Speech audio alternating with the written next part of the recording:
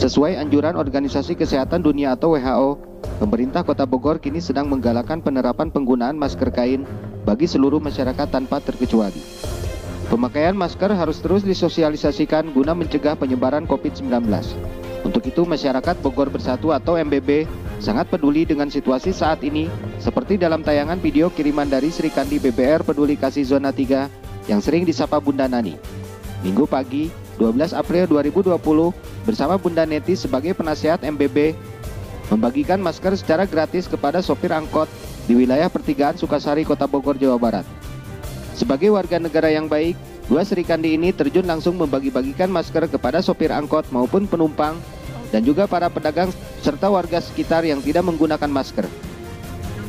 Dalam kegiatan tersebut dihadiri langsung Ketua Umum MBB yang sering disapa Kang Agil dan dibantu juga oleh beberapa anggota MBB, BBR Peduli Kasih, LMPI, serta anggota dari LRPI.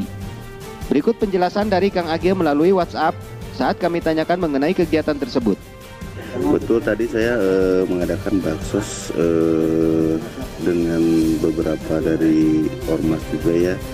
Ada ormas LMPI, ada ormas LPRI, sama ormas eh, BBR dan harapan saya sebagai ketua umum eh, semoga apa yang saya bagikan tadi eh, bisa membantu untuk eh, orang-orang yang sangat membutuhkan masker itu.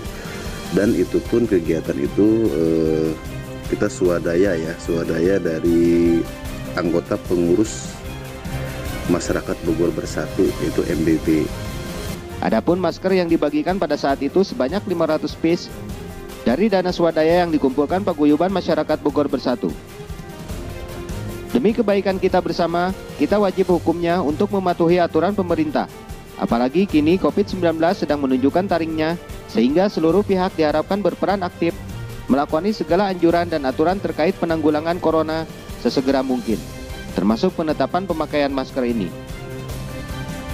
Palapa TV News mengabarkan dari Jalan Raya Sukasari, Kota Bogor, Jawa Barat.